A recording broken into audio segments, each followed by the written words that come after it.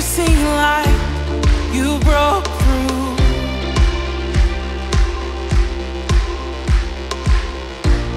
When sin had shadows.